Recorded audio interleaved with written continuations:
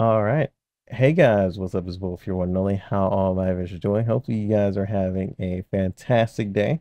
Um, so I am doing a little bit of image separating right now. So I'm separating images, kind of resizing them to where they can fit into the game and I can give them to my uh, developer. So I'm to be doing quite a lot of that actually because I have to make like little placeholder panels and stuff like that. But uh, as of right now, uh, Q and A time. So I have six questions, and we'll also be, you know, fully talking about these questions that you guys have, and this will also show who will be active in the community of my channel, my YouTube channel, or active in the community of my game. So it let me know like people who I can actually ask what would they prefer things like that.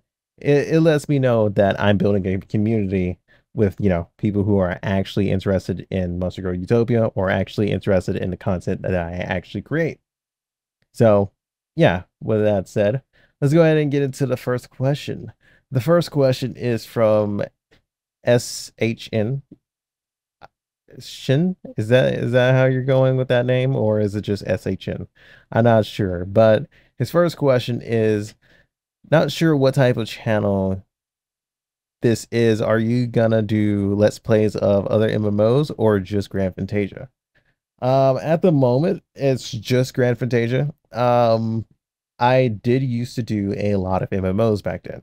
I kind of stopped because MMOs started to die off majorly.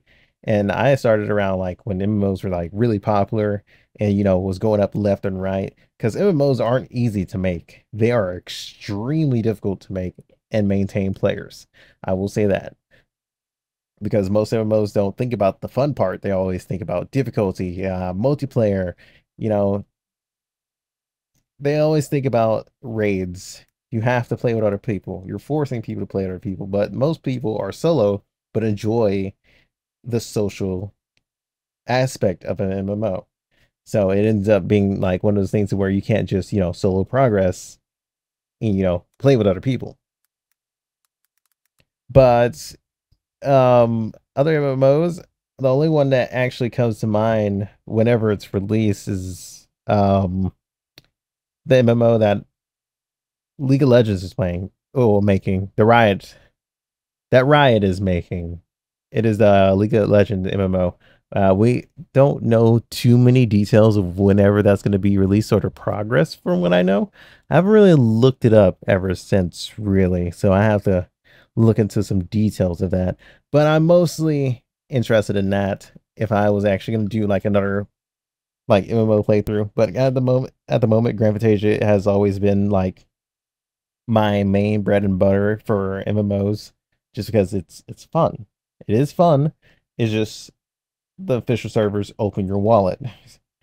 open your wallet right now. We don't have any other way for you to get, you know, certain rewards or anything. We don't have like playtime rewards. We don't have like these cool events to where, hey, you can exchange these things for killing these enemies inside of this dungeon, or exchange this for killing certain enemies, or exchange this for just playing the game you know, getting coins in it and doing exchange events. Exchange events keep games fresh with players because they have an incentive to get on and, you know, grind instead of just sitting in the plaza, you know, talking to people. You can actually go out and grind and exchange those rewards for, you know, those little expensive rewards. And now and then they're not really all that generous anyway.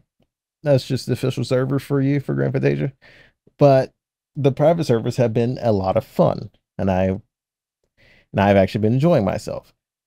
Uh, the next question that you had was, which one do I like better, Memories or Violet? I have not played enough Violet to actually come up with an opinion of that, but at the moment, Violet has the solo player incentive with the whole, you know, chatting with each other and not having to, you know, force yourself to group up at the moment. I'm not really sure if they increase difficulty or anything yet. So at the moment, it is fun because there are, you know, different talents And those talents are actually really interesting because you don't have to you don't have it locked behind requirements of holding a staff or using one hammer or stuff like that. They actually have like unique talents, which talents are passives.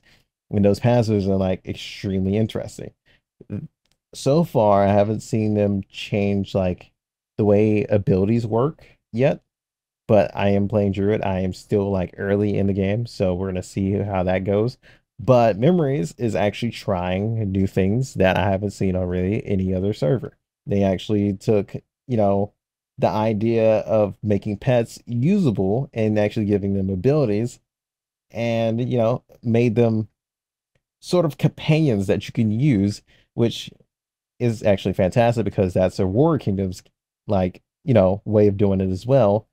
And it's actually been very fun but you also got to remember that that uh memories, gravitation memories, has a more play together type of situation to where you know you have to group up with people and actually like you know enjoy that aspect of it so if you enjoy grouping with people memories if you love soloing and well i can't really say soloing yet because like i said i'm still in the early games of violet so we'll just see where that goes and i'll you know, give my opinion inside of the video to where I'll be telling you guys which private servers are, you know, will be best for you to join. You know, I'm not going to be like, ah, this is the best private server overall, you know, something like that. It's going to be what I would recommend for certain players to get into. So, yeah. But that's it. Let's move on to next one. Okay. Good old spell, Zan. Appreciate you for uh, commenting. Uh, her first question is what made you decide to become a streamer as mm, well a lot of things i actually thought about was mostly branching out from youtube because i did you i've done youtube for like seven six or seven years now so i decided to like maybe i should branch out you know and you know expand my brand a little bit but it was mostly because I like streaming my memories and I like, you know, just having a way to as unfiltered. I don't have to edit anything. People just get my full experience so I will never miss anything. It's also easy to do because you can just start it up, have it on the screen, and I don't have to edit it. it is just an easy startup. I don't have to do an intro. I can just say hi guys and just get on into it and it, it, live interact with all of you. It was another way to like live interact with like all of my viewers as well. That's mainly what it came down to. And thankfully Twitch changed their whole dual streaming rule to where you can dual stream again because that was another reason why, you know, I actually wanted to do that because I can branch out to like Twitch and YouTube you know, get people interested in my content. That was how that was supposed to go. and the second question was what made you decide to make your own game? So the reason I wanted to make Monster Girl Utopia is because there hasn't really been an emphasis on Monster Girl creature collectors. And I kind of wanted to do that as well because Monster Girls have always been like a like a curious little topic to get into. People love Monster Girls, and honestly, people love Pokemon. So I wanted to do my own like creature collector, and I've been wanting to just, like make my own game for like years now. And I was just like, you know, if there's any other time that I should do it, it is now why I'm still capable of it. but I'm not going to end it anytime soon. I actually do want to see this fully through to the end, and I'm to enjoy every last second of it. I mean, I've done YouTube for six or seven years now, and I'm at still at 2,000 subs. It is just like, if I didn't give up YouTube, what, what, what problem would I even have doing like this whole project? Honestly, but I guess the main thing that made me want to do it is just a childhood dream that I need to fulfill. I feel like I want to fulfill and actually enjoy. Plus, there's so many new developers that are going on that are just about money now, and it's just sickening at this point. Like microtransactions transactions inside of single player games. I mean, I understand DLCs, but microtransactions got to stop. And It is just like so much, so many corruptions going on right now. Is it's insane. Like if I'm gonna do a DLC, I'm at least gonna give you guys like at least ten skins for like ten bucks. You know, at least you get the most out of it instead of getting like one skin or two skins for ten bucks. Like I, I always hated that. It was like if you're gonna give me skins, they shouldn't cost like an arm and a leg for just fucking one or two. I I want to like you know put emphasis on that and change that at least, and you know make it at least worth people's while or time. As a um, it's just the gaming community is pretty corrupt right now. So eh, you know, adding on another person who can try and change that over time is something I want to do. So yeah. All right, the next question is from Neon Knee. So, first question is Will there eventually be holiday theming? I'm guessing you're talking about Monster Girl Utopia. And yes, I have actually a lot of holiday plannings going on to where I want a calendar in the game to where I can, like, you know, have the whole classic hey, this date right here is going to be a solar eclipse and it'll be like a solar eclipse monster girl or multiple monster girls that you can catch during, you know, like a solar eclipse timing inside of that day. Or I can have like a, hey, here comes a blue moon, moon night. Go to a dungeon while there's a blue moon going on. You can catch this monster girl there. You know, I want to do things like that. And I want it to be like, uh, here comes like St. Patrick's Day, and there's gonna be like a dungeon that exclusively opens up on St. Patrick Day if you're that far in the game. And here's leprechauns and other stuff like that. I have a lot of plans for our holiday themes, and it's gonna be multiple monster girls that are under that hol- holiday theme, or maybe they'll be found inside of just normal dungeons that you can just go in on that day it's going to be interesting to make those ideas come to life come to life but you know we should we shall see how that all goes. Your last question was a little bit odd to me because i never looked up any of my ships or vessels before. What is your favorite world war ii vessel? Well naval vessel. Personally i find the hsm Ark Royal, and the K's MS Tripsy. Cool. Okay, I have to look up my naval vessels here because I'm not. I'm not very naval vessel knowledge knowledgeable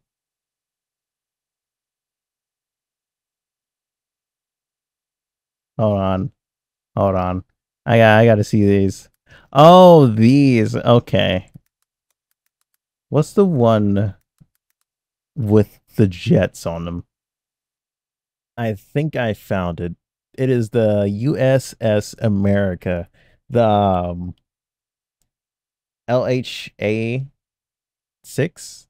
The only reason I like those those ships is just because it, it was actually cool to like see those jets like launching off of that ship. That's why I always like to look at those.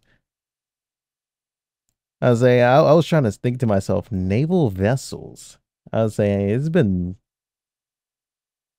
I, I haven't even looked at these. Then I had thought about it. I was just like, oh, this is what you're talking about. Okay. I remember like as a kid I used to always like look at so many ships and stuff like that. But mines were more like pirate ships. I'm not gonna lie to you. Like back then I was like a huge well, I can't even say back then. I'm still am a huge Pirates of the Caribbean fan to where more of like pirate ships were like my thing. But you know, naval vessels would actually go into that as well. I'm not a sea person. I don't have like sea legs and that concerns me of going out in the sea too.